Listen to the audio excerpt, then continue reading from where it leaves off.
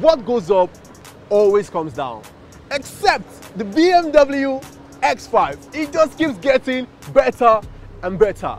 Let me show you how BMW has upgraded this SUV. These grills only open up when the engine needs cooling. When it doesn't, it shuts off and this reduces drag. And this SUV is more aerodynamic than a freaking McLaren F1!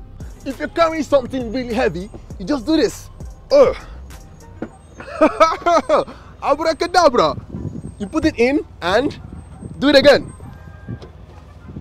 Nah, it's not magic. It's just a cool feature this car has.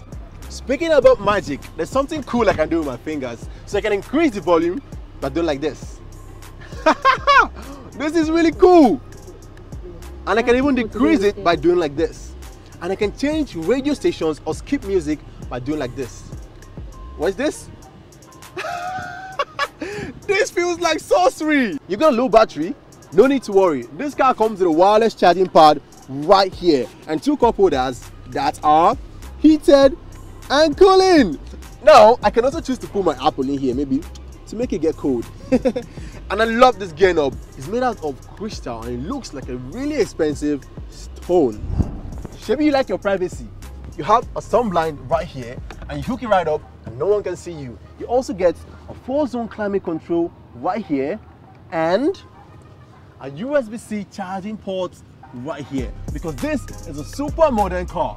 So go upgrade your charging cables.